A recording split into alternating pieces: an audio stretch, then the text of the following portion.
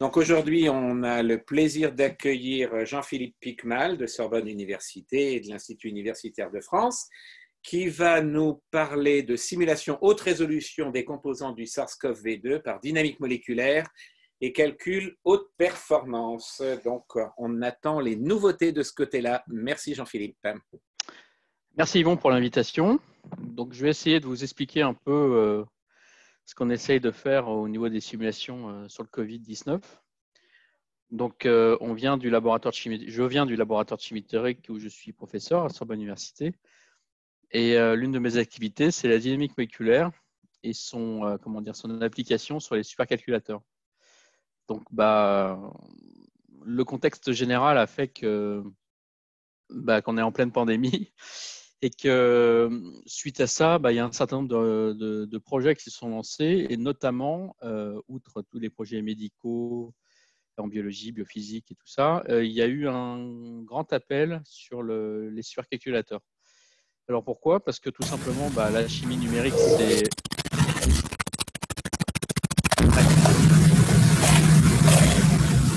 Je crois qu'il y a quelqu'un qui a des micros pas fermés. Voilà, merci. La chimie numérique s'est pas mal euh, développée. Donc, euh, au niveau de la France, le regroupement des, supercalculateurs des centres de calcul, le GNC, et au niveau de l'Europe, PRACE, euh, ont lancé ben, un appel à, la mobilisation sur la, modélisation à différentes échelles du virus. Donc, moi, j'y ai répondu et on a un projet qui s'appelle COVID-HP, PRACE, et euh, on a un complément de ce projet euh, au GNC aussi. Voilà. Donc les Américains aussi se sont lancés là-dedans. Donc euh, il y a l'équivalent de Price au niveau des États-Unis qui s'appelle Xseed, qui s'est allié aux gros industriels, les GAFA et certains constructeurs de supercalculs comme, comme IBM ou, Google pour en fait essayer de modéliser à très très grande échelle ce qui se passe au niveau du virus. Donc, vous avez sûrement entendu aussi euh, parler dans la presse d'autres euh, initiatives comme Falling at Home, qui a une, une optique un peu différente, puisqu'ils essaient de faire participer les ordinateurs des gens euh, pour pouvoir faire aussi des, petits calculs de dynamique moléculaire. Alors, qu'est-ce que les gens font? Et après, je vous expliquerai ce que nous, on fait. Donc, en gros, en ce moment, il y a trois types de simulations qui sont faites. Il y a la dynamique moléculaire, donc ça qui restera le, à mon avis, pour longtemps, le, plus gros volume euh, des simulations qu'on peut faire sur des systèmes biologiques euh, comme le Covid. Euh, il y a du screening virtuel et il y a l'intelligence artificielle. Voilà. Donc ça, c'est pour ce qui s'intéresse vraiment aux aspects structuraux et aux aspects pharmacie. Évidemment, il y a d'autres études, des études d'épistémologie, il des études de statistiques, mais ça, j'en parle pas, c'est un autre domaine. Ce n'est pas les simulations moléculaires. Donc, euh, pourquoi on s'est retrouvé euh, là-dedans? C'est que bah, on avait déjà en fait un, historique de simulation euh, à la fois de systèmes biologiques, mais aussi de virus. Donc, nous, notre spécialité, c'est la dynamique moléculaire atomistique, c'est-à-dire qu'on fait des modèles des constituants d'un virus, voire d'un virus entier, et on les simule par dynamique moléculaire au niveau atomique, c'est-à-dire incluant tous les atomes, tous les atomes du virus, et ainsi que tous les atomes du solvant, les contre-ions que vous pouvez avoir euh, euh, dans ce solvant. Euh, et l'idée centrale, c'est d'obtenir un modèle le plus réaliste possible de ce virus pour pouvoir après faire ce qu'on appelle du screening virtuel. Et ça, j'expliquerai un peu ce que c'est tout à l'heure. Alors, qu'est-ce que c'est le screening virtuel? C'est que sur ce modèle du virus qui est modélisé dynamiquement au cours du temps, c'est-à-dire que tous les atomes vont bouger en fonction du temps, on peut insérer des milliers, voire des millions de composés à très grande vitesse, euh, ce qui s'appelle le screening, pour pouvoir voir s'ils ont une affinité euh, pour la cible. Donc tout ça, ça se fait dans le cadre euh, essentiellement de la recherche qui est faite dans l'ERC, dans notre ERC qui est l'ERC Synergie. vont être un des copiailles avec moi. Et c'est soutenu par euh, Gensi. Donc, je vous parlerai des machines sur lesquelles on travaille. Donc, il y a la machine Janzé qui appartient au CNRS et il y a la machine euh, Joliot-Curie euh, qui appartient euh, au CEA.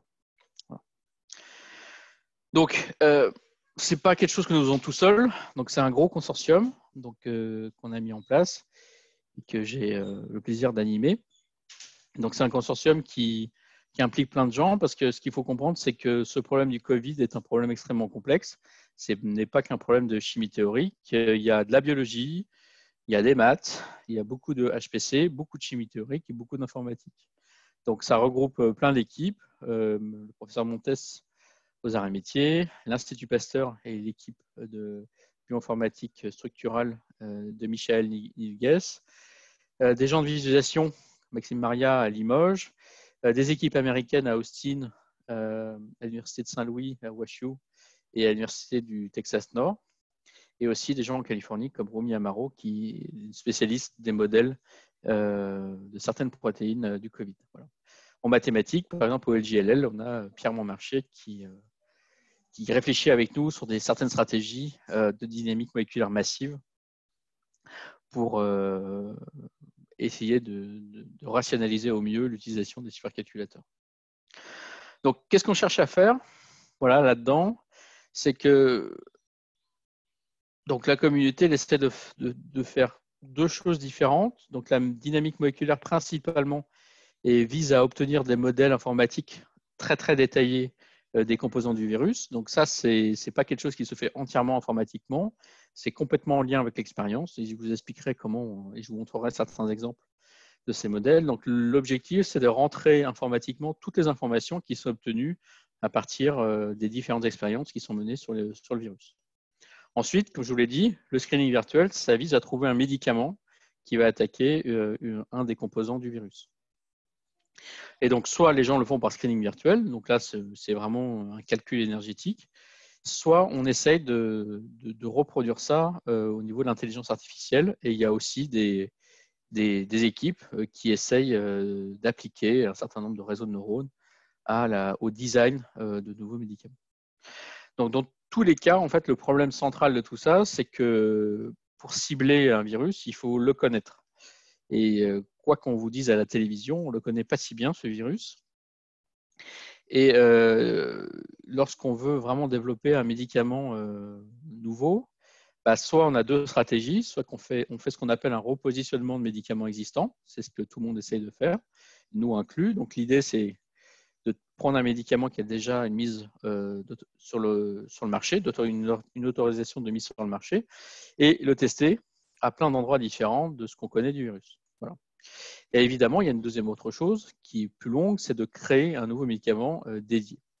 Dans tous ces cas, il faut avoir un modèle précis euh, pour pouvoir tester informatiquement l'interaction de ce médicament avec la cible. Donc, si je résume un peu ça, je fais ma simulation et mon médicament, bah, je le connais puisque c'est moi qui le choisis que, je l'ai défini, c'est mon cube. Par contre, ce que je ne sais pas, du, pas forcément, c'est euh, la cible. Quelle est cette cible? Est-ce une, enzyme, des protéines constituantes? Euh, Je vous rappelle que le virus est apparu euh, il y a très très peu de temps. il faut cartographier et avoir un modèle complet, complet de chacune des parties de virus. Donc c'est comme un grand mécano qui rassemble plein de pièces et chacune de ces pièces, il va falloir en avoir un modèle extrêmement détaillé pour pouvoir euh, jouer à Tetris et insérer ces ligands dans ces cibles. Donc, euh, ça, c'est pas du tout si simple que ça. Hein. Donc, euh, vous avez pu lire à gauche, à droite qu'il y a plein de gens qui ont publié des résultats informatisés, des, simulations de dynamique, d'intelligence artificielle. Mais la plupart des choses qui ont été faites en, mars, en mars-avril, euh, excusez-moi, j'ai un problème de son.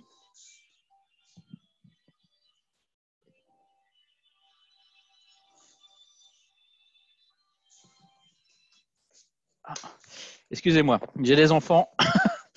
Ils ont, monté, ils ont, monté, dans la pièce. Donc, la plupart des choses qui, euh, qui ont euh, été connues viennent de l'expérience.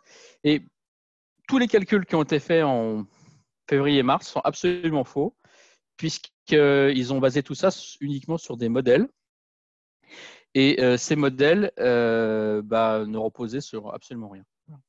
Donc là, ce qui change en ce moment, c'est qu'il y a eu la mise en batterie d'un nombre incroyable d'expériences avec euh, des, des manips de ce qu'on appelle le cryo-IM, donc c'est de la spectroscopie cryogénique, euh, la cristallographie et aussi l'obtention des séquences génétiques. Donc quand on a la séquence génétique, on peut commencer à avoir des modèles informatiques qui vont euh, faire des tentatives de, de, de modélisation 3D de ces choses-là. Donc les limitations, elles sont nombreuses, euh, et puisque le but c'est d'arriver jusqu'à un modèle qui va, qui va arriver à la dynamique moléculaire, euh, c'est que les données sont très souvent incomplètes. Donc que ce soit de la cryo-EM, de la cristallographie, euh, on a des trous. Il, manque des atomes, il manque des parties, il manque des résidus. tout ça, c'est des données statiques. Donc, qu'est-ce que ça veut dire? C'est que c'est une vue certes 3D, mais qui ne bouge pas en cours du temps. Donc, les virus, ça se rapproche plus des, des, moteurs moléculaires ou des nanomachines que, d'un ensemble d'atomes inertes. C'est absolument pas inerte et vous verrez ça dans les vidéos que je vais vous montrer. Et surtout, il y a un nombre de composants assez faramineux dans ces virus. Donc, il y a même des, certaines protéines dont on n'est pas sûr de ce qu'elles font à ce stade. Donc, évidemment, euh, le virus ne vient pas de nulle part et il a une machinerie interne qui ressemble euh, quand même à ses cousins. Mais vous le verrez, il est, euh, est assez spécifique, il a des nouveautés euh, par rapport à ses ancêtres. Donc, je vous parlais de, simulation atomistique. Donc, il faut comprendre qu'un virus complet, euh, euh, c'est au moins 250 millions d'atomes. Hein. c'est énorme, c'est un, ensemble vivant assez phénoménal à, modéliser. Ça peut aller beaucoup plus loin dans le nombre d'atomes si on compte explicitement, évidemment, le solvant dans lequel va baigner ce virus, puisqu'évidemment, dans votre corps, le virus, il n'est pas euh, à l'air libre, il baigne dans l'eau et dans cette eau, il y a évidemment autre chose, des ions. Euh, voilà. Donc modéliser tout ça à, une très grande échelle, c'est vraiment un projet euh, extrêmement complexe à mettre en œuvre. Donc là, vous avez une petite vidéo de une revue d'artistes de ce que c'est le virus. Donc principalement, ce virus, c'est une boule bleue. Donc cette boule bleue, c'est en gros des lipides donc on pourrait dire du gras, hein. une, couche, euh, une, couche de, lipides. Et dedans, vous avez un ARN. Donc c'est des virus à ARN. Et euh, il y a un certain nombre de protéines qui traversent en fait cette membrane, euh, les protéines N, les protéines spike. Et notamment, ce qui va nous intéresser pas mal, c'est ces pics, les spikes. Donc les, ces, ces spikes, ce sont elle qui donne le nom au coronavirus. Voilà. c'est un virus couronne. Et en fait, pourquoi c'est une couronne? C'est parce que euh, sur une couronne, on a des pics et que les coronavirus sont euh, parsemés de, pics. Donc, chacune de ces protéines euh, commence à être identifiée. Et chacune d'elles est une cible potentielle pour les différentes thérapeutiques ou pour un vaccin. Donc, il faut bien différencier la notion du vaccin. Donc, le vaccin, il va se fixer quelque part, il y a des, anticorps, des antigènes. Et euh, le médicament, ce n'est pas un vaccin, c'est autre chose, c'est quelque chose qui va essayer de bloquer le virus, soit au niveau de, l'entrée dans vos cellules, soit au niveau de sa réplication. C'est-à-dire que l'idée, c'est que le médicament va euh, bloquer une des séquences euh, dans la, la réplication de l'ARN de ce virus, et le virus ne va pas pouvoir se multiplier dans votre corps. Alors, ce qui est compliqué, c'est que des protéines, il y en a plein. Donc là, vous avez un petit exemple. Donc pour chacune des protéines, vous avez au fur et à mesure des jours qui, se, qui, passent euh, de plus en plus d'informations. Donc euh, il y a des dizaines, centaines d'équipes dans le monde qui partagent tous leurs résultats en temps réel. Donc elles mettent tout ça en ligne dans ce qu'on appelle la protéine databank. Donc cette protéine databank est une euh, banque de données de position atomique dans l'espace X, Y, Z de toutes les positions des atomes d'une protéine, décrites dans les conditions expérimentales. Et euh, on arrive au fur et à mesure à avoir une, deux, trois, dix, vingt, euh, peut-être 30 protéines. Euh, et plus évidemment des variantes des expériences, puisque toutes les expériences ne se valent pas. Et c'est le premier travail qu'on a à faire d'essayer de voir si en fait ces séquences sont bien résolues. C'est-à-dire que vous voyez que sur euh, les, les exemples, euh, vous avez des résolutions. Donc évidemment, plus cette résolution est fine, plus vos atomes sont précisément localisés dans l'espace. Donc très souvent, il y a des choses qu'on ne voit pas. Il manque des ions, il manque des boucles, il manque des sucres. Et ça, ça fait partie vraiment du travail initial. Et c'est un énorme travail, un travail de fourmi, pour arriver à reconstituer une forme de la protéine qui est à la fois en accord avec les séquences génétiques et en accord avec les différentes expériences. Donc là aussi, semaine après semaine, des expériences de plus en plus ambitieuses sont, sont mises en place et on observe une, augmentation de la précision, ce qui nous force à mettre à jour en temps réel nos modèles. Donc voilà, vous avez, il y en a des, listes entières.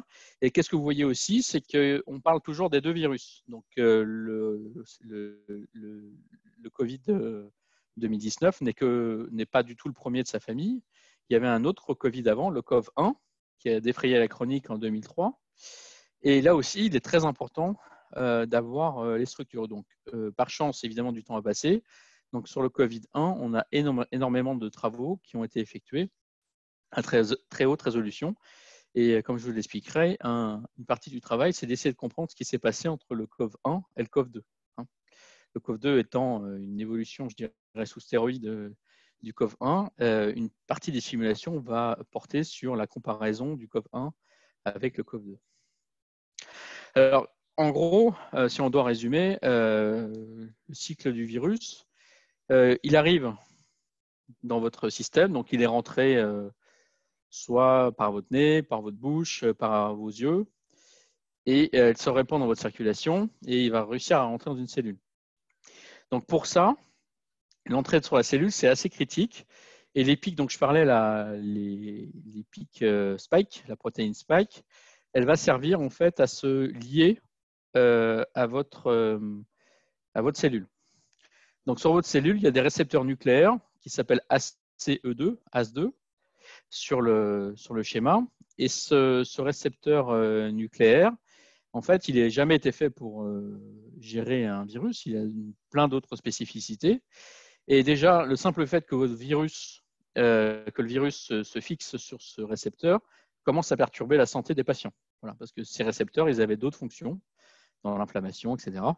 Donc, le virus, en fait, prend en otage la machinerie du corps humain et utilise ce récepteur en fait pour se lier et pour, faire ce qu'on appelle une fusion des membranes. Vous voyez, la membrane du virus va fusionner avec euh, euh, la membrane euh, de votre cellule pour faire pénétrer le matériel génétique en fait du virus dans la cellule. Et une fois que l'ARN du virus est rentré, eh ben, il va utiliser votre machinerie à vous pour se répliquer, se multiplier et ressortir pour se, de, la cellule par exocytose. Voilà, donc tout ça, ça montre bien euh, qu'il y, a deux, voies. Il y a une voie de thérapeutique pour essayer d'empêcher le virus de rentrer. Et il y a aussi une voie pour l'empêcher de se répliquer. C'est-à-dire que euh, une fois qu'il est rentré, le virus, il a un certain nombre de, de composés euh, qu'il amène avec lui qui sont potentiellement bloquables euh, à l'intérieur de la cellule, ou on peut aussi essayer de, protéger euh, certains constituants de la cellule humaine. Dans tous ces cas-là, vous voyez qu'il y a une combinatoire assez forte et assez folle sur les, stratégies qu'on pourrait euh, avoir pour bloquer ce virus. Donc, une cible prioritaire et qui semble très importante, c'est ces protéines spike. Alors pourquoi? C'est que donc ces spikes, évidemment, euh, c'est elles qui font entrer le virus. Donc si le virus euh, n'entre pas dans votre cellule, il ne se répliquera pas et euh, vous n'aurez pas la maladie telle qu'on la voit. Donc une des stratégies prioritaires, aussi bien pour les médicaments que pour les vaccins, c'est d'essayer de comprendre et de bloquer le fonctionnement de cette machinerie spike. Voilà, donc la spike, ça se bloque euh, sur le récepteur ACE2, qui est l'enzyme de conversion de l'angiotensine 2. Et euh, un de nos gros efforts, c'est d'essayer de modéliser à la fois euh, la spike dans sa complexité et aussi l'ACE2 pour arriver à comprendre au maximum l'interaction entre ce récepteur et cette protéine, cette protéine virale. Alors, plus en détail, alors, qu'est-ce qu'on essaie de faire c'est de mettre au point un modèle à très haute résolution. Donc, qu'est-ce que ça veut dire un modèle à très haute résolution? C'est d'avoir absolument tous les constituants au niveau atomique de cette protéine spike. Donc, ça inclut les ions, le solvant, les différents types d'interactions, donc par exemple des ponts disulfure, euh, des, ions en interne, des anions, des, métaux. Donc, évidemment, il, peut y avoir des métaux. Dans la CE2, il y a un, ion zinc, par exemple. Et réussir à euh, modéliser ça pour répondre aux différentes questions qui se posent. Donc, une des, grandes questions qui se posent et qui a été euh, pas mal discutée, mais qui n'a pas encore été quantifiée, c'est le fait que ce qui vous rend malade beaucoup plus avec le, SARS-2 qu'avec le SARS-1, c'est que cette interaction euh, ACE2-spike, euh, elle est démesurément plus forte avec le nouveau virus qu'avec l'ancien. Donc en gros, si vous mesuriez l'énergie d'interaction euh, en delta G, l'affinité de la spike pour, pour la CE2 du nouveau virus, elle est énormément plus forte. Donc en gros, c'est, j'avais donné ça plusieurs fois comme Explication, vous aviez un pitbull euh, qui, qui, va vous mordre, donc ça vous mord, mais c'est peut-être gérable. Mais tout à coup, le pitbull s'est transformé en requin blanc. Il a toujours la tête du pitbull, mais sa mâchoire est euh, extrêmement plus forte. Alors, on ne comprend pas trop en fait d'où ça vient et comment c'est venu d'un coup d'avoir cette interaction qui s'est euh, démultipliée. Alors surtout qu'on sait que en fait, les virus sont pas très éloignés les uns des autres. Ils ont une homologie assez forte au niveau de leur séquence génétique. Donc, euh, une des grosses ambitions de, de ce projet-là, c'est d'essayer de comprendre quelle euh, modification de, la protéine SPAC a rendu cette interaction avec la CE2 extrêmement plus forte. Donc ça, ça oblige en fait aussi à faire des simulations sur les deux virus, l'ancien et le nouveau, et d'essayer de voir en comparant les deux de ce qui change et qu'est-ce qui change la donne. Donc euh, l'idée étant de, comprendre euh, au niveau du résidu euh, l'origine physique de tout ça. Donc sachant qu'il y a quelque chose qu'il faut avoir à l'esprit, c'est que malheureusement, comme souvent avec les virus, le virus a des contre-mesures à la mise au point de médicaments. Un, virus, ça mute. Vous avez bien suivi depuis 20 ans le problème du HIV, du sida. Euh, le sida mute, à chaque fois qu'on a une trithérapie, euh, au bout d'un moment, euh, bah, c'est moins efficace. Et les vaccins n'ont pas marché justement parce que le, taux de, mutation de ce virus est, élevé. Et bah, c'est le cas aussi évidemment pour le, Covid-19. Et, c'est notamment le cas sur la spike. Donc la spike a un taux de mutation assez élevé. Donc en gros, elle change au cours du temps. Donc la question, c'est de savoir, est-ce que parmi les résidus qui sont responsables, y en aurait-il qui sont conservés? Si euh, c'est le cas dans le sida, on sait très bien qu'il y a des résidus qui sont dans certaines protéines conservées. Donc, si ils sont conservés, on peut les viser euh, par une thérapie, par une thérapie, euh, par une thérapie donnée. autre chose qu'on ne sait pas sur qu'on ne sait pas sur ce sur ce virus, c'est et je vous montrerai ça dans un des, dans un des modèles, c'est comment il s'en sort pour être comment dire camouflé par, euh, par de notre système immunitaire. Donc ça, on, commence à savoir ce qui se passe, c'est que ce virus au niveau de, de, ces pics spike est recouvert de sucre, des glycanes. Et, ces, sucres, en fait, marchent un peu comme les peintures qu'on a sur les, avions furtifs. Euh, euh, ces, sucres empêchent notre système immunitaire de reconnaître qu'on a un corps étranger. Donc, comprendre comment se, fixent ces sucres et comment sont gérés ces sucres par le virus est extrêmement important parce que ça nous permettra en fait de, mieux comprendre en fait comment se, en gros se camoufle ce virus. Et puis aussi, vous allez le voir, cette SPAC est extrêmement compliquée parce qu'elle a des conformations et elle va se entre guillemets, euh, avoir une conformation ouverte et fermée. Elle va s'attacher un peu comme une pince à votre cellule, donc c'est assez impressionnant. Et euh, bah, ça, on aimerait bien comprendre aussi comment on peut euh, peut-être bloquer les conformations de cette spike pour plus que ce système s'active. Donc, ceci étant dit, voilà, vous avez une image de ce qui se passe sur cette conformation. Donc, vous voyez que rien que cette protéine marche un peu comme un, moteur moléculaire, on a bien une conformation ouverte et fermée. Et, suivant les axes que vous la voyez, ça marche comme une pince. Hein. Donc la, spike, en fait, elle va s'activer un peu comme un, piège. Lorsqu'elle voit une cellule humaine, elle va commencer à bouger et à changer de conformation. Donc, comprendre exactement comment cette conformation ouverte et fermée. Donc là, c'était un dessin animé en gros. Hein. Là, c'est un dessin animé extrapolé qui est fait entre les structures cristallographiques ouvertes et fermées. Mais au cours du temps, il se passe des choses un peu plus compliquées que ça. Et on peut essayer de tracer dans la, protéine d'où vient le, transfert mécanique qui amène à cette ouverture. Donc ça, c'est une des choses qu'on aimerait voir. Ensuite, euh, un, des gros, euh, un des gros sujets, c'est cette interaction. Donc là, on a un très très très gros travail qui dure depuis plusieurs semaines sur la mise au point de modèles euh, sur la protéine spike et la CE2. Donc on travaille et on simule en ce moment deux modèles. Donc un petit modèle, donc quand je dis petit, c'est pas si petit que ça parce qu'on parle de millions d'atomes, où on va voir la tête de la spike. Donc là, vous voyez qu'elle est en plusieurs couleurs. Donc, parce qu'en fait, la spike, c'est un trimère d'une protéine qu'on appelle la protéine S. Donc, vous voyez la, couleur rouge, la couleur bleue et la couleur jaune. C'est chacun un des monomères qui s'entrelacent pour faire cette tête de spike.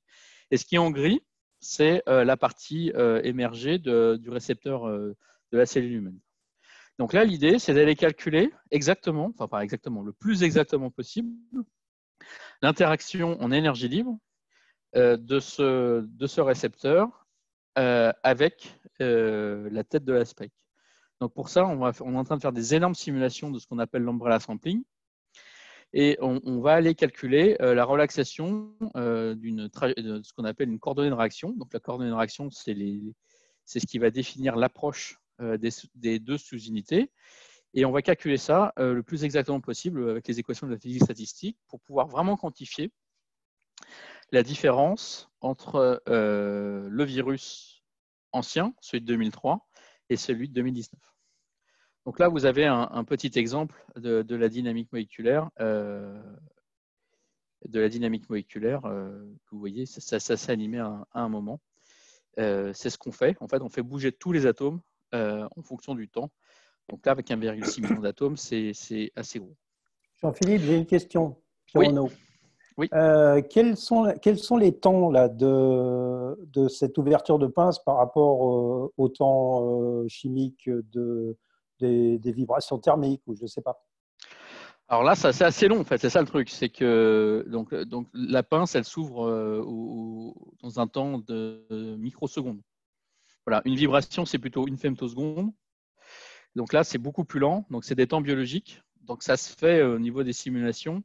Euh, pour simuler réellement l'ouverture à la fermeture, on va, on va utiliser ce qu'on appelle des, des simulations de dynamique moléculaire accélérée, où on va biaiser le potentiel en essayant d'accélérer la propagation. Voilà. Pour, tout, pour tout ce qui est euh, simulation que je vous montre là, là, on n'est pas biaisé, c'est de la vraie simulation. Et là aussi, on va simuler sur des microsecondes, mais réelles. Donc, c'est pour ça qu'il y a besoin de HPC. Et vous verrez que la quantité de calcul qu'on est en train de mettre dedans euh, est assez colossale. Voilà.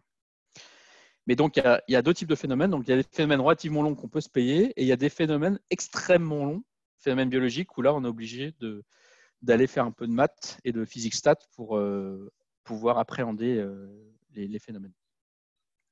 Donc ça, c'est le petit modèle. Donc ça, petit modèle, mais simulation absolument gigantesque qui a commencé à tourner, où on va pouvoir avoir enfin une valeur des, virus, des, deux virus de manière relative, avec une, barre d'erreur, je dirais, mathématisée, qu'on pourra un peu croire. Et je vous expliquerai aussi pourquoi c'est important parce que pour le moment, là, on a euh, dans la littérature euh, à peu près tous les chiffres qu'on veut sur l'interaction. Euh, il faut vraiment faire des grosses simulations pour pouvoir appréhender ça, je dirais, de manière quantitative. C'est ce qu'on essaie de faire. Deuxième modèle, alors je vais essayer de, vous le montrer. donc là, je suis obligé de partager, d'y faire une autre chose.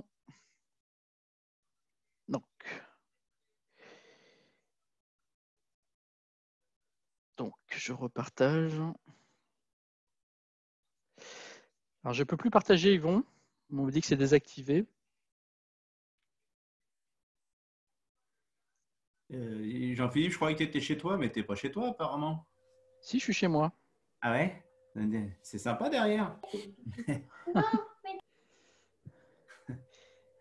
Euh, est-ce que je peux avoir le partage d'écran?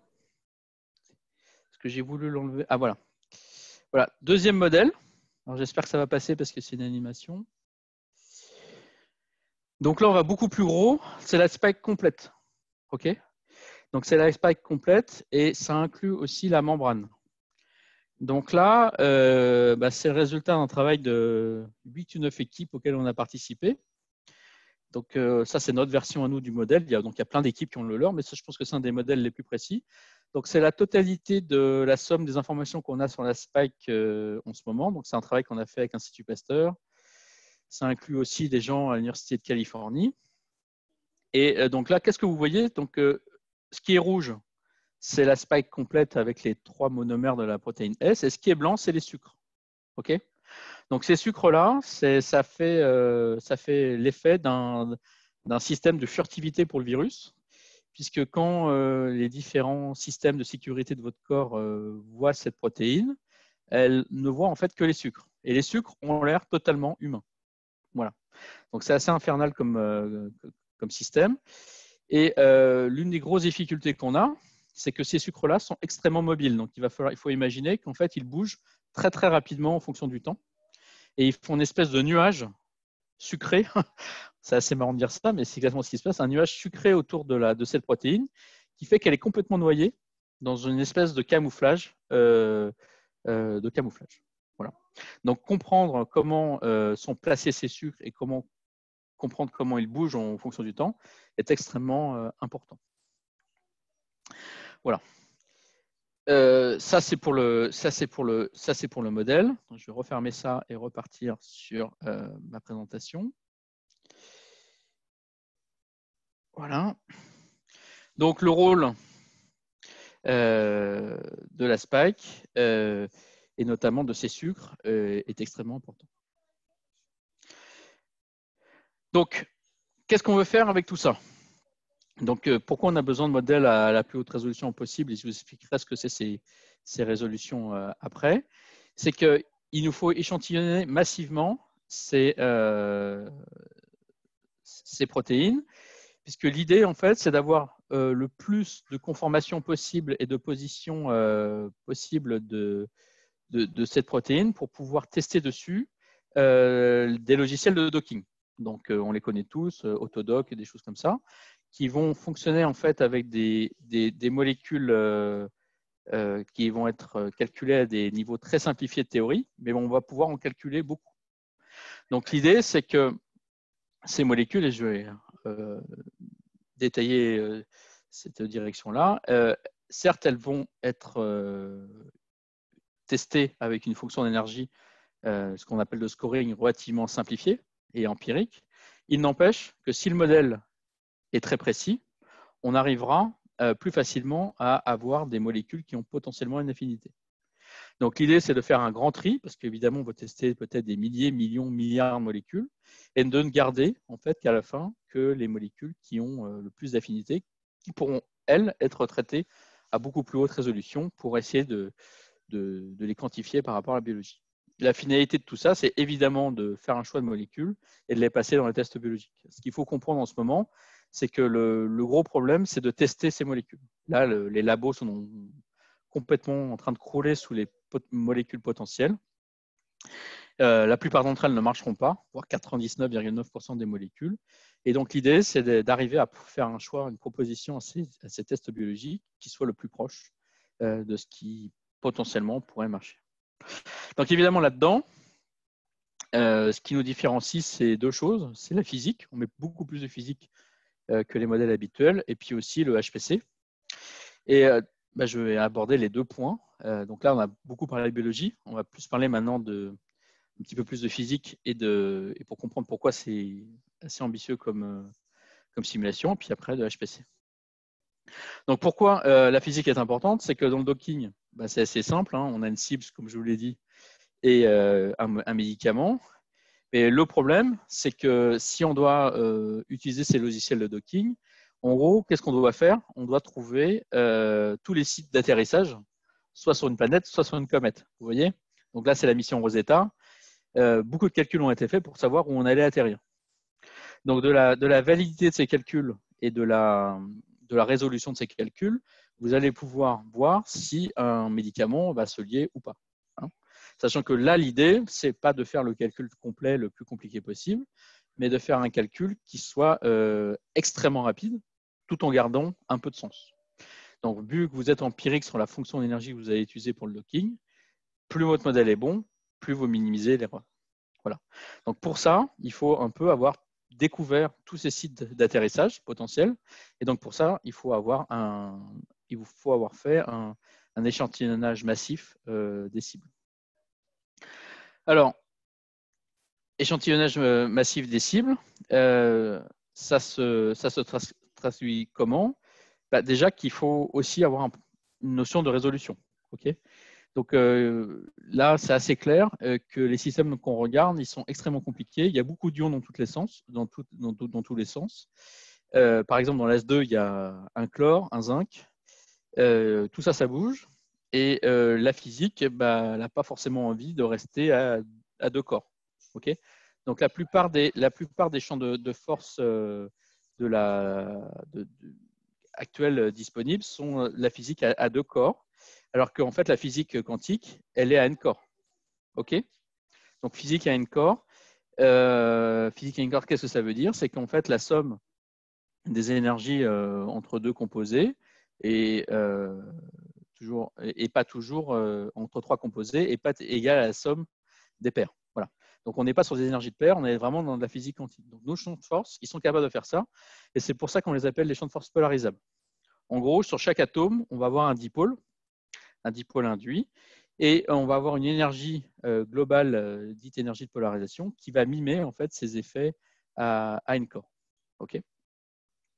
Donc, ces effets N-core, euh, ils vont être très importants dans les cas où les systèmes vont être chargés, donc soit moins, soit plus et ils vont être très importants pour les effets de, solvatation. Donc, on a euh, des grosses compétitions de solvatation lorsque, par exemple, vous avez euh, le récepteur AS, 2 qui s'approche euh, de, la spike. le comportement de l'eau est très important puisque plus vous approchez, plus il faut enlever de l'eau. Donc, ce n'est pas que du sampling, il y a beaucoup de sampling, mais il y a aussi plein d'effets, ce qu'on appelle many body, qui vont jouer et qui rendent très très difficiles les simulations. Donc là, l'idée, c'est de passer directement sur le braquet des simulations euh, les plus précises possibles pour pouvoir en fait euh, capturer de manière quantitative euh, ces interactions. Donc pour ça, on utilise des champs de force polarisables, comme je vous ai dit. Donc là, bon, je n'ai pas vraiment le temps de donner des détails, mais en gros, ils ne vont pas utiliser que des, choses habituelles comme des, charges ponctuelles, ils vont aller plus loin dans des dipôles. Et en gros, l'idée euh, de ça, c'est qu'ils vont être euh, affinés sur des calculs de chimie quantique à très haute résolution. Donc en gros, ce qu'on a, ce qu'on vous propose ici dans ces simulations, c'est un Canada Drive du Copper Cluster. Euh, le champ de force Amoeba est, fité sur des datas initiaux de la chimie quantique de très haute qualité. Donc on sait que la résolution, certes non réactive, de ces interactions dans les champs de force polarisables, ce sont quelque part entre le MP quelque chose, MP3, MP4 et le Copper Cluster. Donc on est face à des énergies qui vont être très précises et beaucoup plus précises que la DFT en fait. Et sauf que là, on peut le faire sur des millions d'atomes. Hein, donc c'est, il faut voir que ces champs de force sont euh, vraiment très précis. Donc le problème qui se posait à nous dans il y a 5, 6 ans, 7 ans, c'est qu'évidemment, faire ça sur des gros systèmes comme ça, c'était impossible. Et c'est là où le HPC euh, rentre en jeu. Alors le HPC, quand il rentre en jeu, bah, il rentre en jeu à travers le, euh, cadre d'une plateforme, de, un logiciel qui s'appelle ThinkerHP, qui a été en fait designé en fait pour pouvoir euh, euh, faire marcher ces simulations massives avec ces méthodes plus compliquées. Donc, qui dit méthode compliquée dit nouveau type d'implémentation, réflexion mathématique. Donc, il y a eu beaucoup de, travaux avec le LJLL, avec le CERMIX dans les années précédentes. Euh, beaucoup de travaux euh, avec, des physiciens, il y a eu plein de choses. Et euh, ce, logiciel est capable à peu près maintenant d'effectuer de, le même type de, simulation que les logiciels les plus populaires de la dynamique moléculaire. Donc certes, il y a un coût supplémentaire, mais ça reste faisable. Donc initialement, ça a été développé principalement sur ce qu'on appelle les CPU, donc les processeurs des, machines de calcul. mais vous allez voir que ça a évolué et notamment le projet Covid nous a forcé à améliorer la mise à disposition du logiciel en avançant une phase de développement en passant sur des GPU. Donc, en gros, si vous voulez voir un peu la physique qu'il y a derrière, c'est euh, plein d'interactions électrostatiques, puisqu'on n'a pas que des charges, on a des dipôles, des quadrupôles. On a euh, tous les termes que vous avez dans les champs de force, les Van der Waals, mais tout ça, c'est affiné à travers euh, des énormes bases de données travaillées sur des calculs copy cluster en base infinie, en, base complète en fait. Et c'est affiné en utilisant en fait ce qu'on appelle du, fit automatique avec des robots. Hein. Ce n'est pas fait à la main. Il y a des robots qui affinent les surfaces de potentiel. Donc on en arrive à des modèles qui ont vraiment des résolutions euh, très fortes et qui n'ont pas, par exemple, certains problèmes de la DFT avec les problèmes de Van der Waals. Ici, on a des vrais Van der Waals. Donc on est capable de faire des stacking, on est capable de faire des ions, euh, etc. Donc là, le champ de force Amoeba dont je parle, il a l'avantage d'être complet, c'est-à-dire qu'il euh, marche de l'eau jusqu'aux ions, aux protéines, à l'ADN, à l'ARN, donc on est capable, euh, et au sucre, on est capable de faire euh, toutes les composantes euh, de ce virus. Donc le HPC, il arrive en fait par l'intermédiaire des supercalculateurs. Donc le problème de tout ça, c'est que qui dit FAN Core dit système de Krylov. Donc en fait, du côté mathématique, le coût majoritaire de, tout ça, c'est une inversion de matrice. donc elle ne peut pas se faire de manière directe, elle doit se faire de manière itérative. Donc là, il y a eu des années de travail entre maths et chimie théorique sur la arriver à, inverser les matrices le plus rapidement possible et le plus précisément possible. Donc, on a quelques atouts pour nous, c'est que nos matrices ne sont pas les pires du monde, elles sont euh, symétrie positive, euh, définie, euh, positive définie et symétrique positive définie, positive définie voilà. Et elles ont cette capacité d'être plutôt bien conditionnées, en plus parce que la physique, en fait, nous oblige à bien les, les, conditionner. Donc, on arrive en fait à faire pas mal de choses au niveau inversion. Mais reste qu'il faut le faire des milliards de milliards de fois, donc c'est assez faramineux comme euh, le nombre euh, d'inversions de matrice qu'on doit faire. Et tout ça, ça doit être couplé à plein d'aspects euh, de, décomposition de domaine 3D pour minimiser les communications. Donc en gros, on en arrive à, devoir localiser dans l'espace les communications de certains atomes avec d'autres. On ne peut pas transmettre une partie d'un système, d'un virus euh, à travers l'espace de manière euh, efficace euh, dans une machine qui fait l'équivalent de plusieurs appartements ou l'équivalent de votre maison. Donc en gros, un processeur ne va travailler qu'avec des, ne va porter que des atomes bien définis dans l'espace et les processeurs qui sont le plus proches vont travailler sur les voisins immédiats. Donc c'est ça la localisation par décomposition de domaine 3D. Donc l'idée étant de minimiser les communications, et de rendre massivement parallèle ce, type de calcul. Donc ça, ça avait déjà été fait euh, depuis, euh, des choses qui tournaient depuis 2017-2018. Euh, et donc ça, ça explique en fait qu'on a une partie du projet qui tourne sur ce type de machine. Donc là, vous voyez, c'est la machine qu'on utilise qui nous a été gentiment fournie par l'Europe, par Price et par le GNC. Donc c'est la machine Joliot-Curie.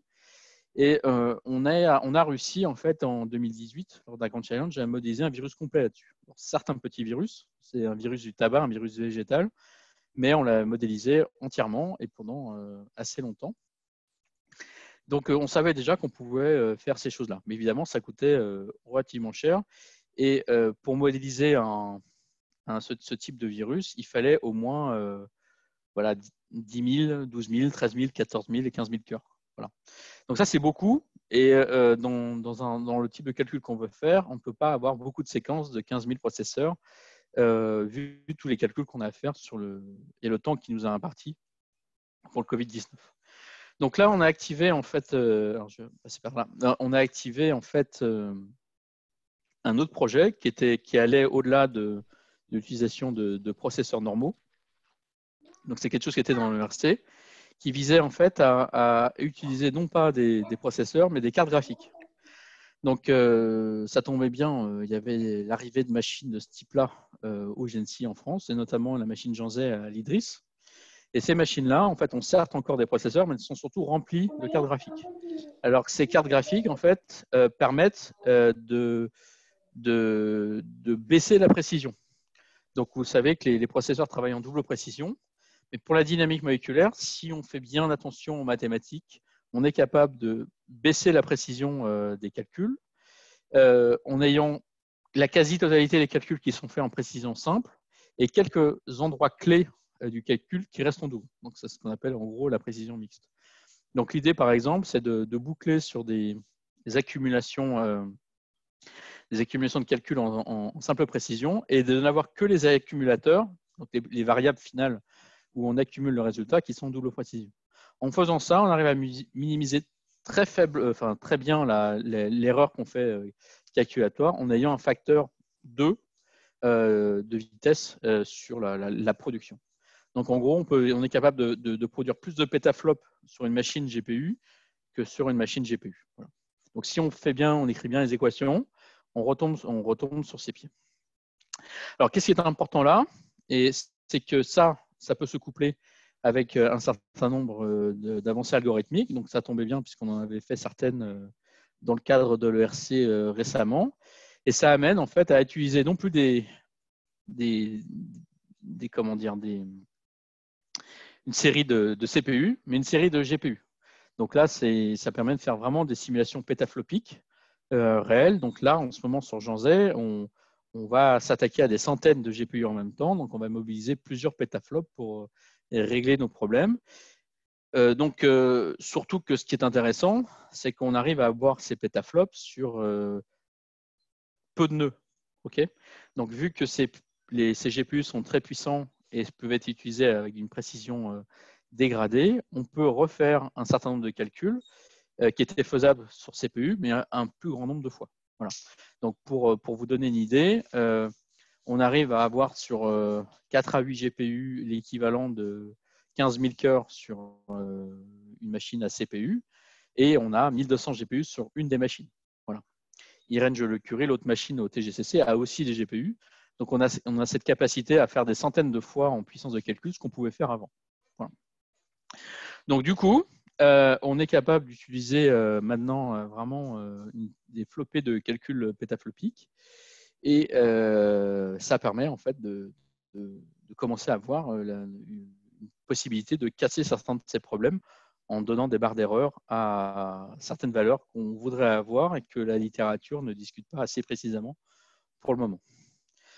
Donc voilà, bah, j'ai un peu fini euh, ce que je voulais vous dire. Donc euh, évidemment, euh, c'est les calculs qui sont en cours. Pour la valeur de l'interaction entre le, le, COF2 et la CE2, c'est des calculs qui vont durer encore facilement deux mois. Donc ce qui est intéressant, c'est que on peut les, suivre en temps réel et on voit converger les équations convergent doucement et on a des indicateurs statistiques pour savoir où on en est.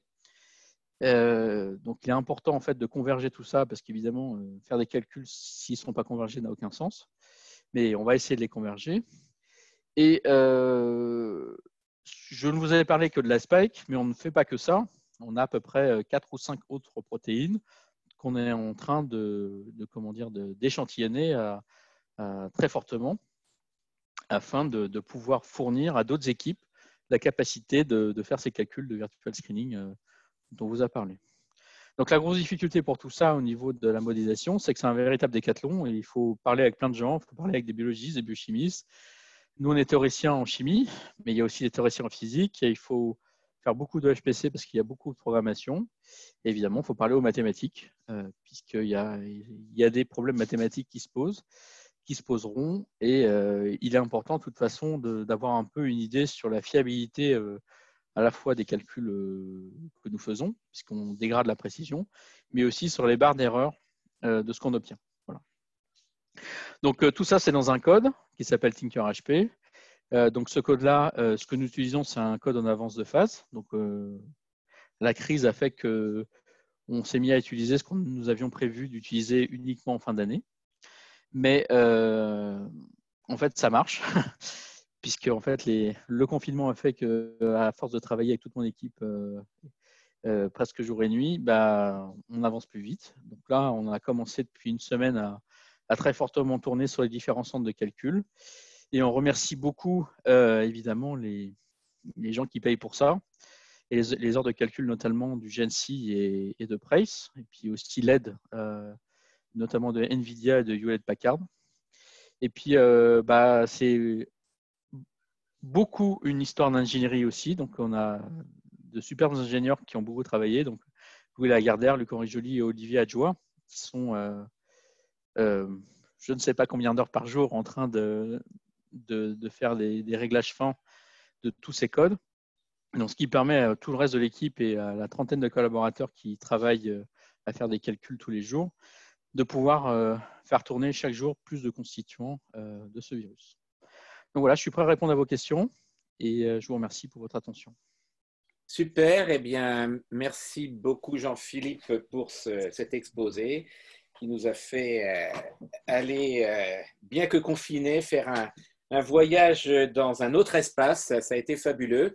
Et merci aussi d'avoir replacé ça dans, le cadre interdisciplinaire, puisque je ne l'avais pas indiqué au début, mais euh, exceptionnellement, le, le, groupe de travail Math for COVID-19 c'est allié avec le groupe de travail UMC2 euh, de l'ERC, effectivement, qu'on a ensemble avec Eric euh, Cancès et Laura Grégory. Donc, comme d'habitude, si vous voulez, vous levez la main et pour pouvoir prendre la parole.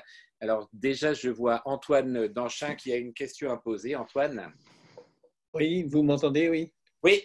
Bon, très bien. Euh, merci beaucoup pour cet exposé extrêmement intéressant. Vous avez des données remarquablement précises sur la protéine spike et ça devrait pouvoir vous permettre d'écarter euh, un grand nombre d'hypothèses euh, éventuellement farfelues. Alors, il se trouve que ces jours-ci, il y a eu quelque chose qui m'a surpris, je dois dire, qui était l'idée que cette protéine euh, pourrait interagir directement ou indirectement avec le récepteur nicotinique et il était dit dans le papier qui est proposé par Jean-Pierre Changeux qu'une certaine séquence, euh, qui, donc, que vous pouvez trouver facilement, ou je peux vous l'envoyer, euh, ressemble très fort à celle de toxines de venin de serpent.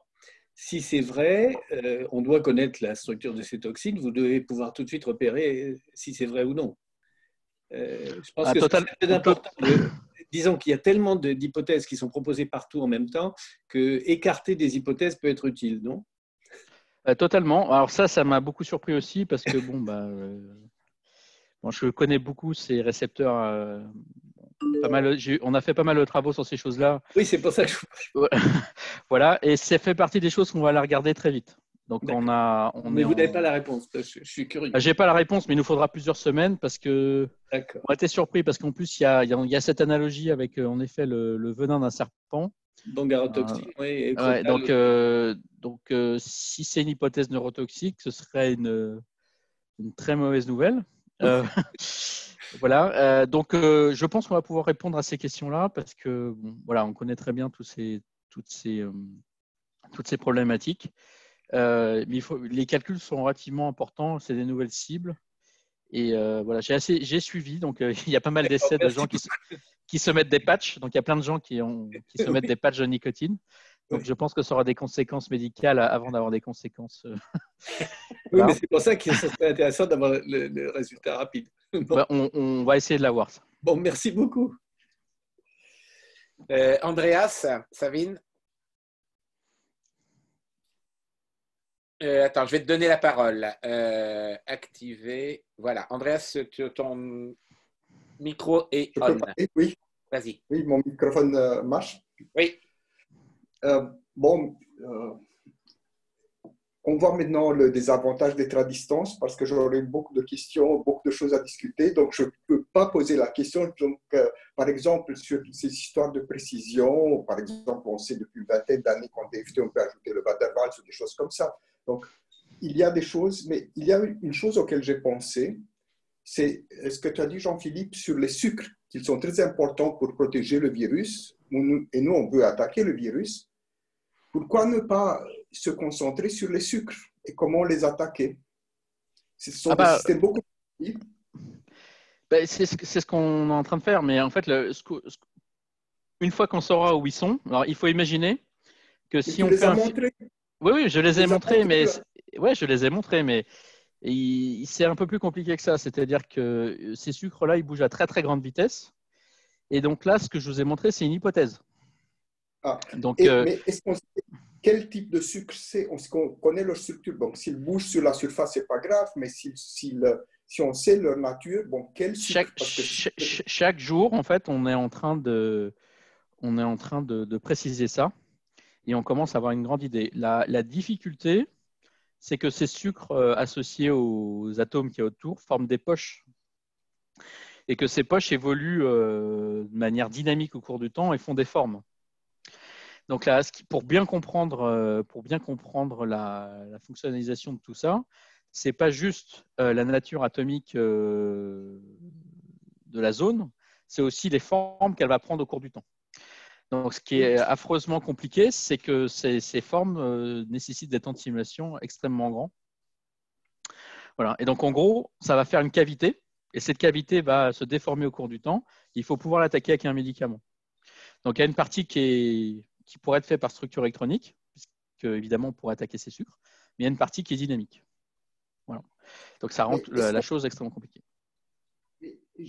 Même, mais même les étudier en dehors de ce contexte euh, des- de leur poche, parce que, disons, le corps, il sait traiter les sucres. Donc, il y a des mécanismes dans le corps pour savoir comment attaquer les sucres. Donc, Oui, là, mais ça c'est- fait- si c'est ouais. quelque ça, ça va, ça va se faire, c'est exactement ça qui va se passer. Donc, il va, il va falloir voir en fait qu'est-ce qui est attaquable au niveau, euh, au niveau pharma, pharm- pharm- pharmaceutique, hein, parce qu'on ne peut pas attaquer tout n'importe comment. Mais euh, il va pouvoir, on va pouvoir aussi faire des modèles de ça pour essayer de comprendre, euh, je dirais, la physico-chimie. hein. Donc, une fois qu'on a un modèle, après, ça revient au niveau physico-chimie, interaction intermoléculaire. euh, On va pouvoir pousser les modèles dans différentes directions.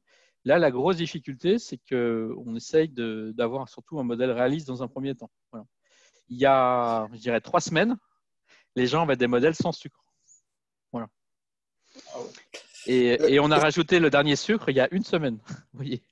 Ah ouais, Donc, ouais. euh, Ah ouais. C'est un- euh, une, autre, une autre question qui montre aussi mon ignorance euh, des choses bio, mais je savais qu'il y avait aussi dans- il y avait les en- enzymes sont des catalyseurs, mais il y a des, il y a des at- catalyseurs aux enzymes, les cofacteurs, non? Je, je sais qu'il Oui. y a quelque chose qui est de ce genre. Oui. Est-ce qu'on sait si ces choses, il y a des cofacteurs pour le, ce virus? Sur, qu'il y a Bah, Il y, a, des- il y a- il y a- il y a plusieurs enzymes. Donc là, j'en ai pas parlé, mais par exemple, une des enzymes principales, c'est la protéase, ce qu'on appelle la, la M-Pro, la main protéase. Et cette protéase, elle est très importante parce que lorsque, la, lorsque la, le virus va se fixer sur la membrane cellulaire, euh, il, il crée ce canal euh, avec euh, le récepteur AS2, mais il, y a une étape qu'on appelle l'étape d'excision. Et cette protéase, elle va couper euh, une partie de la spike. Et une fois que cette spike est coupée, c'est là où la fusion des membranes se fait. Donc, euh, cette protéase, c'est une enzyme. Et si on pouvait casser cette étape d'excision qui amène à la fusion des membranes, eh ben, on pourrait diminuer l'infectiosité du virus. Donc là, euh, il y a énormément d'équipes qui travaillent sur ça. Donc, est-ce qu'il y a un cofacteur? Je ne crois pas, mais par contre, c'est une enzyme. Et c'est une enzyme bien connue, enfin bien, euh, bien standard. Et donc là, on est dans, on, on est dans un régime de, de, de modélisation de, enzymatique. Et euh, là, il y a beaucoup, beaucoup de choses. Et la chimie quantique est importante. Pourquoi? Parce qu'il y a des inhibiteurs covalents. Et là, il y a aussi des choses qui sont, si ces systèmes sont plus petits, normalement ils sont plus petits, alors c'est aussi plus facile de les traiter par des moyens théoriques. Voilà. Mais alors, je, te- je t'arrête là, ils ne sont pas petits du tout. Et Non, euh, ça- donc, on, on- ça- on- ça- on ça parle, de, parce on que- parle de centaines, de milliers d'atomes. Et, et- et un des gros problèmes de tout ça, c'est que l'environnement est très, très important et que les Oui, modèles euh, enzymatiques, je dirais, euh, très, très simples, euh, ne fonctionnent pas du tout. Voilà. Attends, il y a, bon, si je, bon, si je, d'abord, entre le virus et une enzyme, cette coenzyme, comme ça c'est une enzyme, c'est une autre taille. Un. Deux, les co- le cofacteurs sont quelquefois juste des ions. Oui, oui, mais, mais donc on, Donc, on parle pas- des on- systèmes on- de le- molécules organiques qui sont beaucoup voilà, le, le le site actif quand même de ces, de ces enzymes-là, c'est en dizaines de milliers d'atomes. Donc, euh, ça peut se faire en QMMM. Mais euh, donc, là, donc là, je participe à il y a un autre projet qui est américain, dans lequel mon équipe participe, ou qui vise à modéliser en QMMM euh, justement ces sites actifs. Mais euh, ce qu'il faut savoir, c'est que les temps de simulation sont absolument colossaux. Donc, il- donc là, il y a, ça vient de commencer sur une machine à, à Oak Ridge. Et sur cette machine-là, qui est le calculateur Summit, il y a, euh, ils vont tourner en fait des simulations quantiques où l'idée c'est de recalculer en fait les barrières euh, énergétiques euh, des états de transition euh, de ces enzymes. Voilà. Mais là, on est vraiment aux limites de la technologie et de, de ce qu'on peut faire. C'est ce que je disais seulement, que dans ces mécanismes, il y a peut-être des systèmes plus petits qui jouent un rôle important. Si on veut embêter le virus, on peut les- l'embêter peut-être par d'autres moyens. Il y a peut-être d'autres moyens de les embêter et là, c'est plus proche de ce qu'on peut faire. Bah, sûrement, mais bon, il faut, faut, faut, faut remettre ça dans un contexte de la, la complexité biologique. hein. Euh, on- très, très vite, très très vite, on a une déviation de, de ce qu'on calcule. Moi, je suis quanticien à la base, hein, j'ai fait des petits modèles, et on se rend compte très très vite que les déviations dues à l'environnement sont euh, extrêmement euh, grosses. Donc, je pense que l'étape minimale qu'on puisse faire euh, pour nous théoriciens, c'est au moins d'avoir des calculs QMMM avec un- une zone, je dirais, non quantique relativement importante. L'autre problème, c'est qu'évidemment, il faut être quantitatif sur ces barrières d'énergie. Et pour être quantitatif, ça demande des, temps de simulation aussi relativement longs. Mais on a beaucoup à savoir. hein. Il va se passer énormément. euh. De toute façon, je pense qu'on va avoir un peu de temps à vivre avec cette euh, épidémie. Donc, euh, toutes les, les stratégies sont bonnes. hein. Dans, dans le même sens, Jean- Jean-Philippe, j'ai une petite question pour, pour, pour compléter. Donc, les, donc le, le virus est composé de plusieurs protéines. Donc là, tu nous as parlé de la, de la spike. Tu nous as aussi éventuellement parlé des autres. Quand tu t'intéresses à la spike, tu prends la spike toute seule avec euh, l'autre récepteur là dans de l'eau. Et, et tu ne tu, tu n'as pas le reste du virus. Tu Bah non, parce que personne, personne ne l'a en fait. Personne n'a le modèle du virus. Il est gigantesque. D'accord. Donc c'est simplement l'interaction dans une grosse boîte d'eau périodique Voilà. de, euh, du, du spike avec euh, une partie de, du récepteur, c'est ça? Exactement. Et par contre, il y a les ions. hein, pour- il faut, on neutralise la boîte pour que il y a des conditions physiologiques en sel, euh, les conditions salines soient, soient les bonnes. Mais euh, oui, il n'y a que ça. Donc là, euh, il y a un, projet justement avec les des collaborateurs à UC San Diego là, où ils vont essayer, d'aller plus loin, d'enchaîner plusieurs spikes. Et eux, ils vont essayer de passer à, je dirais, aux quelques milliards d'atomes de simulation. Il y a quelques gros comment dire, ordinateurs des, des, des labos euh, nationaux américains qui sont prêts à participer à ça. Mais le problème, c'est qu'on n'a pas d'informations structurales. Le- vous- je vous ai montré une petite vidéo de- du virus. Ça, c'est un dessin animé, en fait. Oui. Voilà. Et donc, il va falloir euh, pas mal d'années. Euh, on n'est pas sûr complètement de la composition de la membrane du virus. Il y a beaucoup d'équipes expérimentales qui travaillent dessus. Euh, voilà. La- la- ce qu'on commence à bien comprendre, c'est la spike et son environnement immédiat, ainsi que les- la vingtaine de protéines euh, euh, constitutives. Voilà. Mais bon, voilà, on n'a pas, on n'a pas, on n'a absolument pas de recul sur le, le virus. Euh, la spike euh, et tout ce dont je vous ai parlé au niveau expérimental, ça date de six semaines. hein. Mhm. D'accord. Voilà. Thibaut Simic avait une question. Oui, bonjour, est-ce qu'on m'entend? Oui. Oui. Ok, bonjour. super, bonjour. Merci beaucoup pour euh, cette présentation euh, fort intéressante et fort instructive. Euh, J'avais une première question, on va dire, de, de, de virologie. Donc, vous avez spécifié que la spike changeait au cours du temps, euh, qui faisait que le, le, le, le virus avait des spécificités qui mutaient au cours du temps et que c'était un des arguments euh, pour lesquels les vaccins risqueraient d'avoir du mal. Ma Ça, c'est ce qu'on dit. Hein. C'est pas Ouais, moi qui le dis. dit. Voilà, Oui, oui, voilà. ça, j'ai bien compris. Ma question, c'est si les spikes changent euh, au cours du temps, euh, qu'est-ce qui nous permet, qu'est-ce qui, d'un point de vue virologique, permet de dire que c'est le même virus en termes de définition? Le matériel génétique qui est à l'intérieur est toujours le même, c'est ça? Euh, bah, Qu'il n'est pas, qu'il pas trop varié, a priori. Euh, donc, normalement, euh, ce qui semble se préciser et qui est plutôt favorable, c'est que le virus ne mute pas trop. C'est ce qu'on, c'est dans les discussions qu'on entend, le, le virus ne change pas du tout au tout. Euh, par contre, il a clairement changé euh, entre le SARS-1 et le SARS-2. Donc, euh, c'est ça, je pense que c'est pas du tout compris de comment on est arrivé au SARS, au SARS-2. hein. Parce qu'il y a des- Ok. des, des features qui, enfin, je, je parle, je vandamise en anglais, mais il y a des, comment dire, des spécificités du virus qui sont certes proches, mais qui, qui le font clairement se distinguer de, son ancêtre. Euh, par contre, la spike, ce qui semble se, confirmer, c'est qu'elle mute à certains endroits, mais pas partout. Et ça, on aimerait voir si par le calcul, on est capable un peu de voir euh, euh, la capacité de... Parce qu'on va faire des mutations dans notre calcul et de voir si on peut, en- entre guillemets, transformer artificiellement la spike pour la rendre moins active. Ok. Voilà, mais euh, s'il se trouvait que la spike mutait à des taux plus importants que qu'on pense, ce serait pas très favorable pour les vaccins. Ok. On, on- on a Ouais. peut-être des éléments, euh, je ne sais pas si Nicolas est, est- est- est là. J'avais une autre question, mais euh, peut-être qu'on reste là-dessus pour l'instant et je relève la main. Euh, Ni- Nicolas Cluzel, tu... Oui. Ouais. Tu, au, au- au niveau des mutations, on, on- on sait si elles sont plutôt du côté de la, de la spike ou... euh, Euh, j'ai pas encore regardé spécifiquement au niveau des régions, donc je saurais pas te répondre euh, directement là-dessus.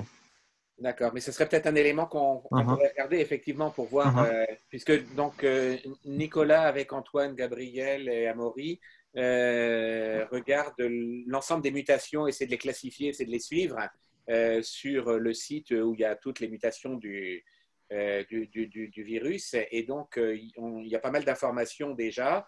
euh, et donc, euh, ça pourrait être peut-être un élément qui, qui, qui considère ça. hein. Tout à fait. D'accord. Voilà. Très bien. Donc nous, nous on fait pas de, de génétique, on fait pas de, euh, mais on, on- on- on est capable de voir indirectement quand même ce qui se passe. Et en fait, on est capable de voir au niveau atomique euh, qui est responsable de quoi. Voilà. Donc, donc ça, c'est quand même assez embêtant quand même d'avoir cette question en suspens pour les, les contre-mesures, euh, les médicaments. Sur le- pour le cas de la spike, c'est que tous les médicaments que les gens euh, prévoient, euh, si la spike a des variations importantes, ben, ils auront une efficacité limitée. quoi. Donc ça, c'est les limites des calculs par rapport à la réalité biologique. C'est que, un, une molécule, elle est bien dans l'ordinateur, mais après, elle doit passer les membranes. Et euh, deux, il faut que le virus euh, soit le plus stable possible. Et c'est un virus n'est pas n'est pas un être- vivant très stable. Oui, pour, le, pour, le moment, pour le moment, on parle de, de 30 mutations par, euh, par, par, par an, je crois, ou un truc comme ça. Donc, euh, ça- Voilà. Donc ça, il y, a, il y a des inconnus là-dessus, mais je dirais qu'à la limite, nous, c'est pas notre travail. Euh, nous, Oui. on, on- on essaye d'expliquer ce qu'on voit avec les structures qu'on qu'on a et, euh, et de se tenir informé de, de l'évolution des connaissances expérimentales. Thi- Thibaut, il y avait une autre question peut-être? Ouais, j'avais une autre question. euh, je crois que c'était quand vous parliez de, euh, de Tinker HP. euh, vous disiez que vous résolviez énormément de systèmes linéaires avec, euh, avec un, si j'ai bien compris, un opérateur qui est sparse, symétrique, positif défini, donc avec un, un gradient conjugué parallélisé, j'imagine. Et, euh, Ouais, et vous aviez parlé du coup d'un préconditionnaire de, domaine des compositions.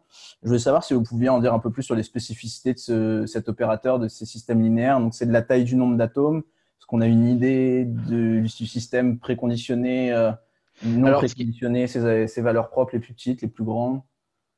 Ouais, bah ça, ça, on a. Ce qui, se passe en fait, c'est que le- la, la matrice, c'est pas scandalise. La, la- la matrice qui est grosse, c'est 3n le nombre d'atomes, et pas scandaleusement mal préconditionnée.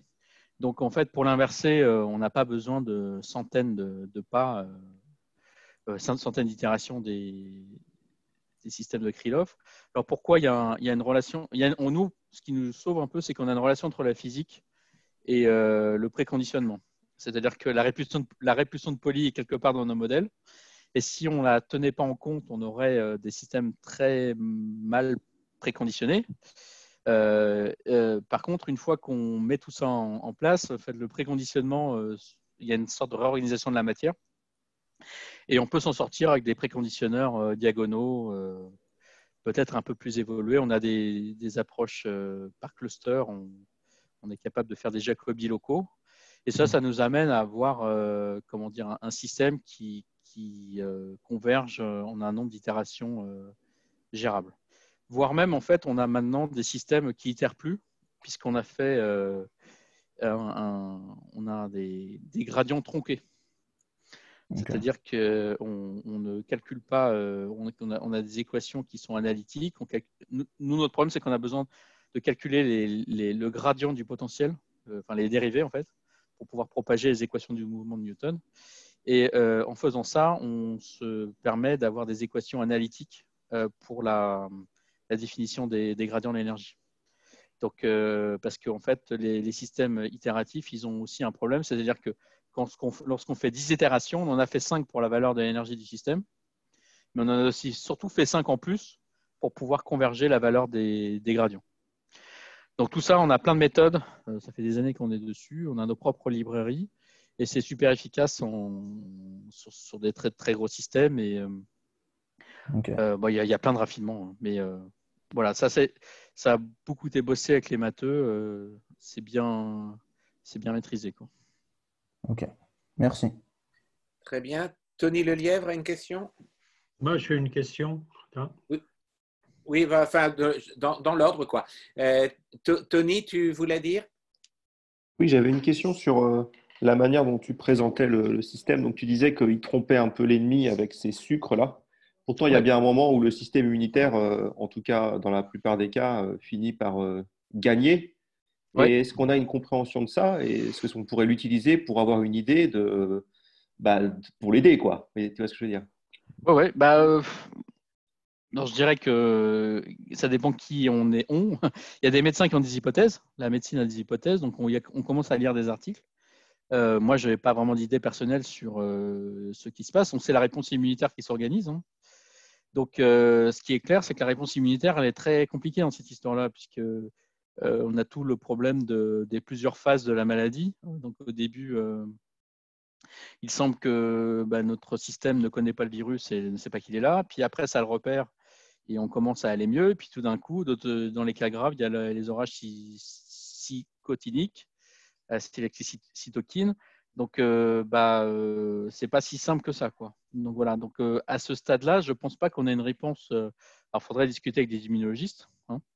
Donc peut-être qu'il y a quelqu'un qui est capable de faire un schéma relativement clair de ce qui se passe.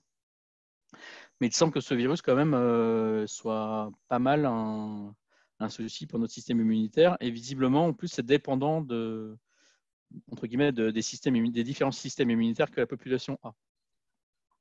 Donc il y a, cette histoire de, de groupe sanguin. C'est extrêmement compliqué. Donc, euh, au niveau de notre calcul, nous, euh, je ne pense pas qu'on ait assez d'informations pour euh, modéliser vraiment ça euh, à l'instant. Ce sera peut-être le cas lorsque la compréhension sera un peu plus, longue. Euh. Donc, l'histoire de la spike, de toute façon, est extrêmement compliquée. Il faut imaginer qu'il y a une autre hypothèse, c'est qu'il n'y a peut-être pas qu'une spike qui intervienne. Okay mmh. On pourrait avoir une liaison avec deux spikes, deux ACE2, il y a toutes les combinaisons possibles. Et là, ça dépasse déjà les, ça commence à dépasser la, les capacités de modélisation, même si on commence à dégrader le niveau de calcul, euh, ça reste très compliqué. Donc peut-être qu'en fait, ce virus, il peut se brancher de plein de manières, et même paraît-il qu'il y a des, il y a des suspicions de, de, de, de branchement de la spike à d'autres endroits que la CE2. Voilà, donc euh, ce qu'on qu observe en fait les, effets, c'est une somme de différents modes d'action de, cette attaque euh, du virus sur les cellules et visiblement il y a peut-être plusieurs portes d'entrée. Voilà. Et pourquoi on sait que la spike attaque la, la CE2 C'est que la CE2 évidemment est dans les poumons, elle est dans, le, cœur et c'est là où dans le cœur et les poumons qu'on a les plus gros dégâts euh, chez les malades. Là, on, a assez clair, on sait assez clair qu'à chaque fois qu'on a un récepteur ACE2 sur un organe, cet organe est attaqué. Mais il semble qu'il y ait d'autres attaques, donc euh, qui, dans des organes où il n'y a pas d'ACE2, donc ça veut dire que peut-être c'est très compliqué cette histoire. Ok. La question suivante, Posa. Vous m'entendez? Oui. Oui. Euh, cette histoire de, de coronavirus et d'interaction euh, moléculaire, étant finalement entre il y a des sucres d'un côté, des protéines de l'autre, et dans les deux cas, sucre ou acide aminé, ce sont des molécules qui sont chirales. Est-ce que changer artificiellement la chiralité au niveau d'un sucre, d'un acide aminé, d'une petite partie constituant euh, votre système, ne permettrait pas à ce moment-là de modifier carrément la reproduction du virus, puisqu'il ne pourrait plus euh, se construire de la même chose si on arrivait à changer la chiralité d'une brique constitutive. Alors justement, c'est une des difficultés des sucres, c'est qu'ils sont chiro et que c'est euh, une énorme discussion qu'il y a dans les groupes de, spécialisés sucres en ce moment, de savoir quelle est la chiralité des sucres qu'on a vraiment. Donc, ils se sont euh, très très fortement expliqués les uns avec les autres dans les semaines précédentes pour émettre des hypothèses. Et évidemment, il y a une histoire de chiralité massive dans, cette histoire. Alors peut-être qu'on pourrait avoir un médicament qui changerait la chiralité d'un des sucres, etc. Donc tout ça, c'est sur la table. Ce c'est pas encore compris, mais oui. Voilà. Donc les, sucres sont assez clés, mais il y a aussi cette histoire de, la zone d'interaction la tête de la spike, le, le, haut de la spike, où il y a peu de sucre. ok? Donc ces résidus-là, ils ne sont pas sucrés, entre guillemets, et pourtant ils sont très importants. Donc euh, il y a plein d'angles d'attaque euh, qui sont bien plus, vastes que ce que j'ai pu présenter. Euh, et puis il faut se poser la question aussi de tout simplement, est-ce que la spike est la bonne cible hein? Parce qu'il y a beaucoup de médicaments qui, qui, sont des antirétroviraux qui ne vont pas du tout agir sur la spike. Donc, euh, notamment, ils vont agir plutôt sur la machinerie. il, y a une ARN polymérase qui est très importante qu'on pourrait bloquer. Euh, voilà, vous avez tous entendu parler du Remdesivir de, de Gilead et compagnie. Il y a plein de stratégies antirétrovirales qui n'ont pas vraiment de rapport avec la spike ou pas du tout de rapport avec la spike et qui pourraient servir. Donc la difficulté, c'est qu'on peut viser à peu près tout dans le virus. Ce qu'il faut, c'est enrayer la machine et, pas tuer le patient. Parce que les médicaments ont, tendance à. Ah oui. les, molécules miracles, euh, souvent, sont miraculeuses dans la machine ou dans, les tests in vitro. Euh, mais quand ils sont effectivement pris par un patient, il y a des effets secondaires. Non, ce que je demandais essentiellement, c'est que est-ce qu'en changeant de la chiralité d'un des morceaux de, du puzzle, on arriverait à orienter dans la mauvaise direction, donc euh, d'empêcher le virus soit d'attaquer avec une certaine réussite, soit même de se répliquer dans la bonne direction. C'est uniquement ce que je veux dire. On pourrait bloquer peut-être, en changeant la carité de certains sucres, on pourrait le faire, on pourrait modifier les choses. Mais on n'a pas forcément d'agents qui savent modifier sélectivement la chiralité exactement. Très bien. Mais je, je contrôle, je connais pas tout. Hein. Merci. On va passer à la question suivante. Martine.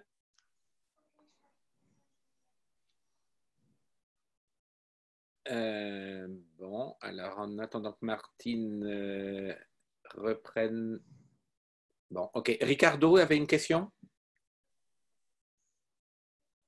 Oui Moi, j'ai oublié de, de mon micro. Ok. Martine. Oui, euh, je, disais, tu as parlé donc du Covid du Covid-1 de 2003 et du Covid-2, mais est-ce que ce sont deux virus, euh, enfin, est-ce que le Covid-2 est une mutation du Covid-1 ou ce sont deux virus de la même famille? Et je voulais également savoir si on connaissait les différences avec le, virus, le MERS, qui je crois est également un coronavirus, non? Ils sont tous de la même famille. Euh, je suis... Le Covid-2 n'est pas une mutation du Covid-1 Non. Non, le Covid-2 n'est pas une mutation du Covid-1. Ils sont, ils sont frères hein, dans un certain sens, mais ils sont, ils sont, ils sont issus d'une même souche. Mais euh, le, Covid-2 n'est pas une mutation du Covid-1. Et par rapport au MERS de, qui, a, qui, a, euh, qui a circulé en, au Moyen-Orient C'est un cousin, mais ils ne sont, pas, euh, ils sont pas directement reliés les uns aux autres. De toute façon, c'est des virus animaux à, la base, donc c'est un virus qui a sauté d'espèces. Euh, ça, c'est pas du tout euh, mon rayon de savoir euh, ce qui s'est passé. Ce qui est clair que nous, ce qu'on voit, c'est qu'il y a des homologies. Donc, il y a des protéines qui sont très très proches les unes des autres. Les protéases dont je parlais du SARS-1, du SARS-2 sont 97% les mêmes. Euh, ce qui est intéressant, c'est euh, qu'est-ce qui a changé entre les deux. Quoi. Mais ils sont des cousins euh, très forts. Et en gros, ce qui, ce qui semble se... Il faut imaginer que le SARS-2 est une version beaucoup plus efficace du SARS-1. Voilà, tout est plus efficace, malheureusement pour nous. Tout marche mieux, les catalyses enzymatiques marchent mieux, les, interactions marchent mieux. C'est un peu un perfectionnement du SARS-1, euh, bah, probablement par différentes recombinaisons qui, se, recombinaisons qui se sont passées au niveau animal. Il y a l'hypothèse du pangolin, de la chauve-souris, donc c'est clairement, ça vient de la chauve-souris, il semble. Après, euh, l'histoire, bah, ça, il y a pas mal de recherches vétérinaires qui sont en train de se faire là-dessus. On aura des informations euh, par la génétique et tout ça. En tout cas, nous, on a besoin, pour bien comprendre ce qu'on fait, d'avoir euh, une modélisation la plus complète possible du SARS-1. Alors, je ne sais pas si c'est passé entre les deux, mais de SARS-1 versus SARS-2, c'est vraiment très intéressant. On voit beaucoup, beaucoup de choses et euh, on peut comprendre les, facteurs qui sont les plus euh, marquants euh, de l'évolution de ces virus. Très bien. Ricardo? Oui, euh, justement, pour revenir euh, au SARS-1, qui effectivement, il y a 18 ans, non, 17 ans qui, qui est comparu, qui était là, il n'y avait pas beaucoup d'études apparemment. Mais bon, euh, ces, histoires des glycanes qui masquent les virus, les, les spikes, il existe aussi dans le SARS-1 ou pas? Mais moins. Et peut-être- Ouais. Mais il y a- ça existe aussi, il y a, il y a des grandes similarités, c'est-à-dire que Et aussi les protéases, je veux dire, il n'y a pas des. euh, il y a beaucoup de choses en commun. Il y a les protéases sont là. Oui, mais. Ah, Je t'ai pas entendu. allô? Oui, oui, je t'entends. Oui, c'était un peu. Oui, non, je disais euh, euh, les similarités, mais en fait, il n'y avait pas des médicaments, des, tar- des, des- des trucs pour. Ah, euh, ah, pour- ah, bah ça, on a regardé. C'est la première chose qu'on a fait. On a Bien pris sûr, j'imagine. Euh, Voilà, Et- mais, mais évidemment, ça marche. pas- C'est pas complètement transférable parce Et- que les, les- les- les sites actifs sont pas les mêmes. Et en plus, on a fait, on a joué de malchance, c'est-à-dire que comme le SARS-1 en fait s'est dissipé, Ouais. Les équipes qui travaillent sur le SARS-1 ont, ont eu leur funding coupé. Ah, voilà. Voilà, donc euh, il y a une histoire aussi d'appel à projet. Ouais. Donc ça faisait très très longtemps qu'il y avait plus grand monde qui travaillait sur le SARS-1. euh, Mais pour voilà. les- mais, de- mais on a pu, il y a, pas, il y a beaucoup de travaux quand même qui étaient là, donc euh, c'est très intéressant. On a- on- ça a permis de travailler quand même pas mal. quoi. Mais pour les protéases, il y, y avait énorme. Par contre, les protéases, il y avait énormément de travaux sur l'HIV. Et en fait, il y a au moins un des, un des, des- des médicaments du, du- de cocktail qui est un inhibiteur protéase, si je me rappelle bien. Oui. Bah, c'est pour ça que c'est c'est aussi pour ça que qu'on est arrivé sur ce projet-là. Nous, on travaille beaucoup sur le HIV au labo. Et euh, toute notre machinerie informatique et de simulation était dirigée contre le HIV jusqu'à maintenant. Donc, il y a énormément de, de gens qui travaillent sur le HIV qui sont passés sur le, le Covid et énormément d'idées qui ont été définies pour le HIV qui sont en train d'être testées. euh, euh, tous ces ré- antirétroviraux, dont, quand vous entendez les noms à la télé, viennent du HIV hein, pour beaucoup d'entre eux. OK. Merci. Léo, tu avais une question?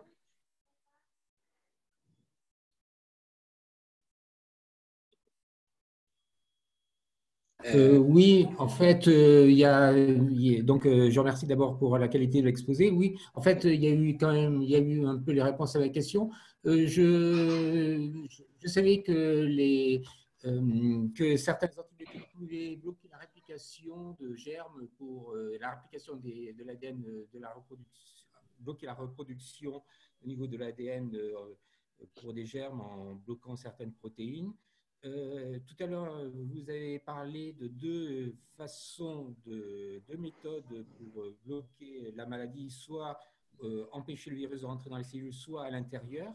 Est-ce qu'il y a des donc ma question portée, est-ce qu'il y a des approches similaires aux vôtres en chimie pour, pour essayer de comprendre ce qui se passe au niveau de la réplication du virus à l'intérieur de la cellule? Oh, il y a plein de gens, il y a plein de gens qui travaillent dessus. Euh, donc, dans, le processus de après la fusion, donc il y a, le virus qui va utiliser la machinerie, euh, la machinerie disponible dans la cellule. Et là, il y a des gens qui regardent. euh, il y a un des projets américains qui regarde explicitement les premières phases de la réplication.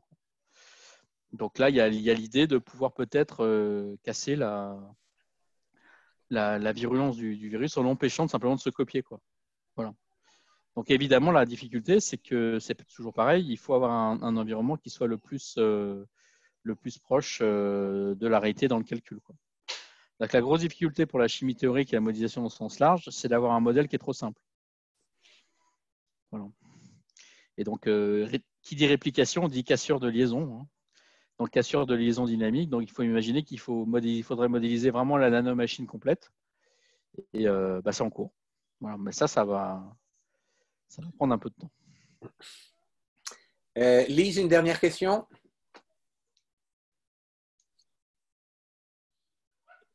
Voilà. Super. Euh, moi, j'avais une question peut-être un peu naïve. Donc, si j'ai bien compris, hein, la différence entre la, hum, comment on pourrait dire, euh, la, viralité du Covid-1 et du Covid-2, c'est que dans le Covid-1, il y a moins de glycanes et on a euh, une affinité entre le spike et le récepteur qui est plus grande pour le Covid-2. On est d'accord? Ouais, mais ça, c'est vraiment euh, très, très résumé. Il y a plein d'autres plein aspects différents. Hein. Il y a plein de choses différentes, en fait. Ils sont quand même relativement différents. Après, il y a les taux de capacité. Euh, les enzymes sont, ont des taux de production beaucoup plus grands.